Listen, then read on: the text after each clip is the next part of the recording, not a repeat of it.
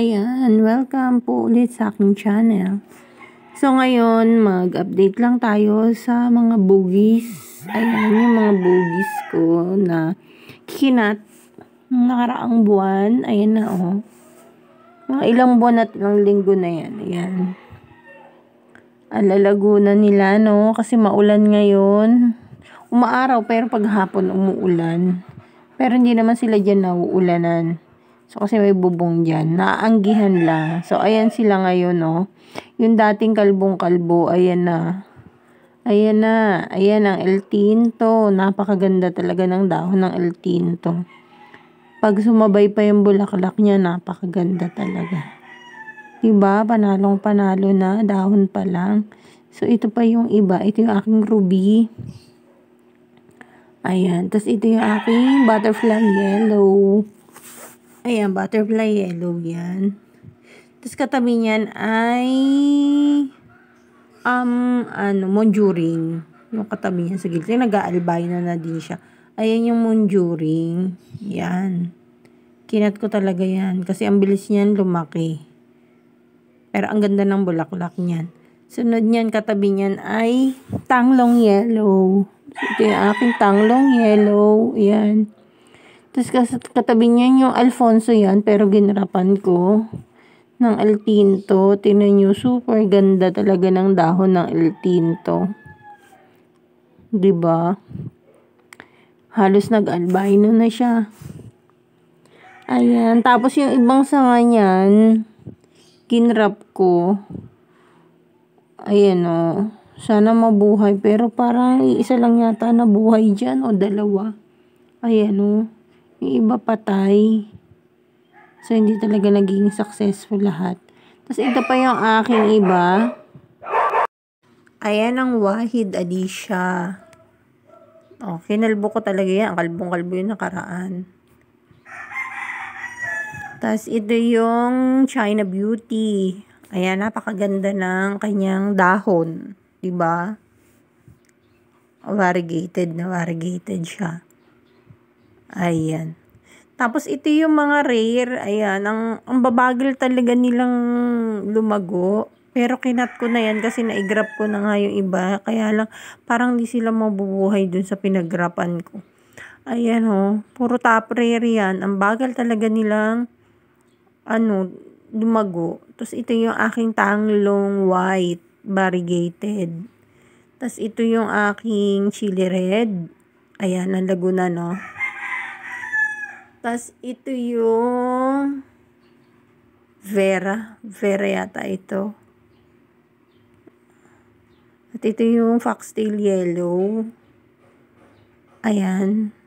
Yung nakita nyo yung unang video ko sa kanilang pagkaputol. Puro lang talaga stick. Tapos ngayon, tingnan nyo. Ito na sila, oh. Ayan.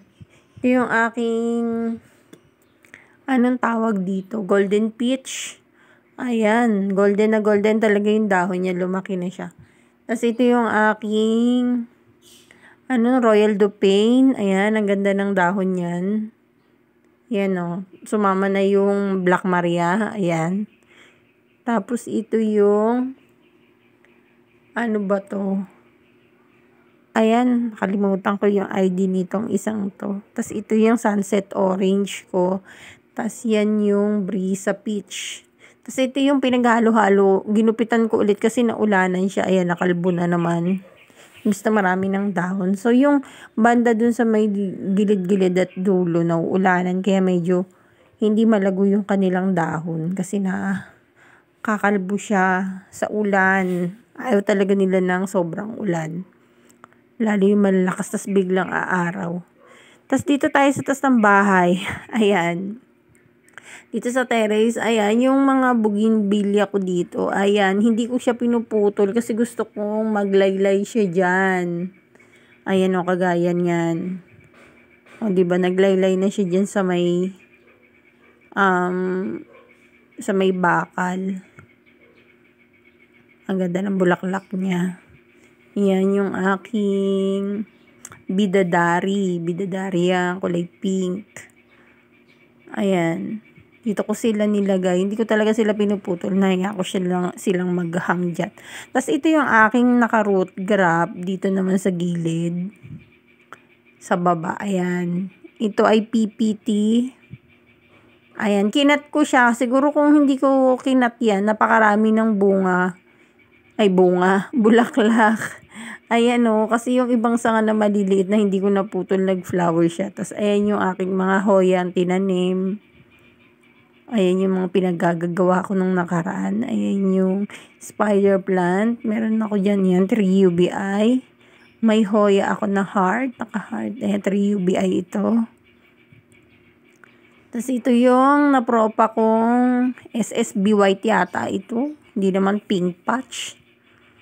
Ayan yung hoya ko na heart. Naka-heart siya. Heart ang dahon. Tapos meron ako dyan aglaw. At yung aking Prince of Orange. So, ayan lahat yung mga halaman ko. So, yan lang muna sa ngayon. Pinakita ko lang sila. Tapos meron dito, oh.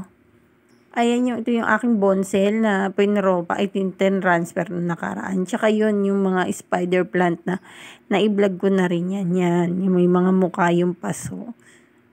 So, ayun na sila malalago na, di ba? Ayan, meron pa ako dito, makuyana na napakalago. Yan, favorite ko yan sa lahat ng kalateya. Tapos meron diyang bamboo. Ayan. So, yan lang muna sa ngayon. Till next video. Bye-bye muna.